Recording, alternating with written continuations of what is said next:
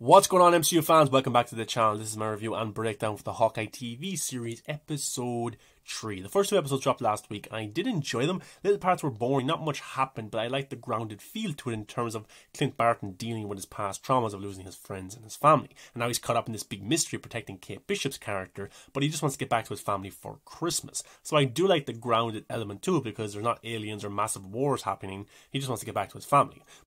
The episode opens in 2007 when a young girl who is Echo. Echo is deaf and she also is missing a leg. We get to see in this flashback her connection with her father ends up being killed, which sets her on this path of revenge. This actor is actually pretty good. He was in Fargo season 2. I'm a really big fan of his. But we get a mysterious shot of her uncle. We don't get to see his face, but it's been rumored that Vince D'Onofrio's Kingpin will show up in this series, and this is him right here because he is now the father of Echo.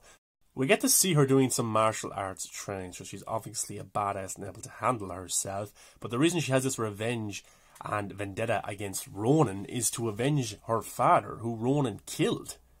But I don't know if it was Clint Barton because we never got to see the person's face that was in the Ronin suit. So there might be a twist coming where it actually wasn't Jeremy Renner's Hawkeye, it was actually somebody else. Because remember, he became Ronin after the snap and ended up killing people. But I don't know if he killed her dad. We'll have to wait and see how that goes.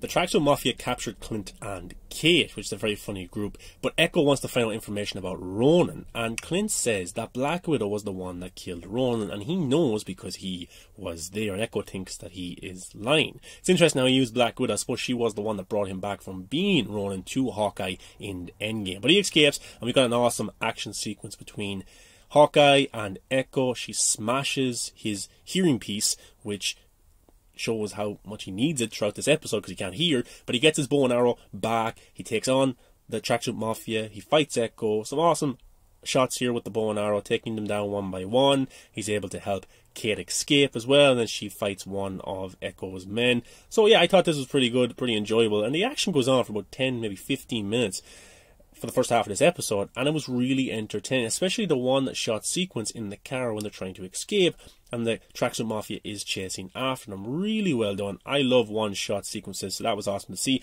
But they have Hank Pym arrows, which is awesome, and each arrow does something different. They got to explode a car here as well, probably killing these guys. They definitely are dead. One with acid, it was actually kind of fun watching Kate experiment with each arrow because she didn't know what each one did, and Clint wasn't able to hear, so that's what kind of made it fun. But the money shot was the two of them kind of working together right here, where this arrow kind of comes together and cause this massive explosion to stop the tracksuit mafia. It was a cool shot. Would have liked to see maybe a different angle of it because it was really well done. But yeah, the back of the car explodes, doesn't kill these guys, which they'll probably pop up in future episodes as well. But yeah, I thought it was pretty cool. And then the rest of the gang with Echo is shooting at them, and they're able to jump off the side of the bridge, and they land on a subway and they escape. So I thought for 10 15 minutes that was pretty entertaining, probably better than the first two episodes combined. Funny shot here in the subway. Kate's like, we should probably bring the dog for a walk. He's been in all day, and Clint can't hear. Then he says something similar as well. So that was kind of fun. But a very emotional scene was when Clint's son called him, but he couldn't hear. So Kate had to write down what he was saying on a piece of paper. Then he would reply, and he said he wouldn't be home for movie night. So that kind of was devastating for him and kind of hard to watch, but great acting from Jeremy Renner there. Terrific stuff. But then we got another mention of the uncle, who I guarantee it is Vincent D'Onofrio's kingpin because he's supposed to show up, and they don't want to upset him whatsoever.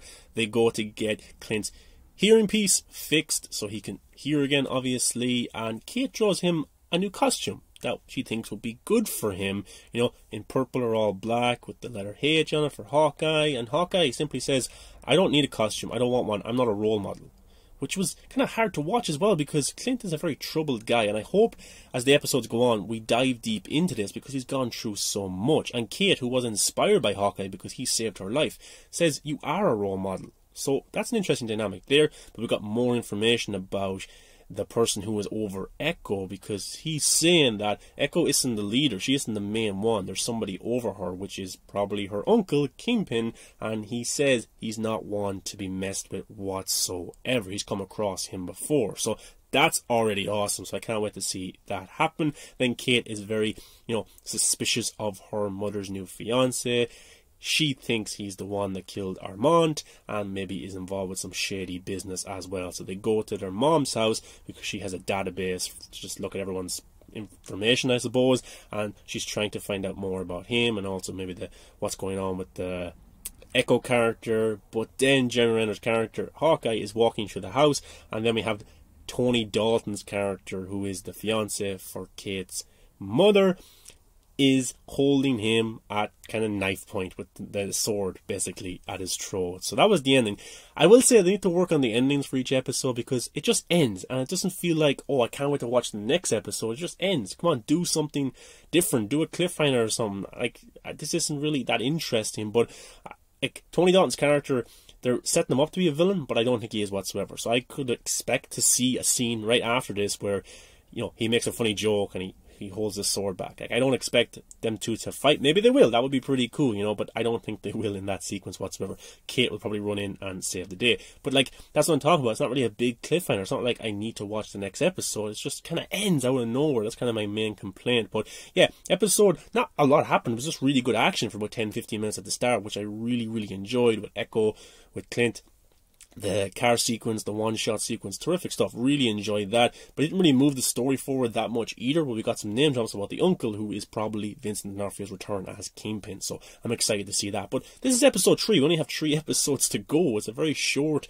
mini series for Hawkeye, but I like the grounded feel to it, and I hope they dive deeper into the psychological battle that Clint is going through with the loss of his friends and his family, and also trying to get to his family for Christmas. But guys, did you like this episode of Hawkeye? Episode three, I thought was better than the first two combined. Let me know your thoughts below. Give a thumbs up, subscribe to the channel, and I'll see you in the next video, guys.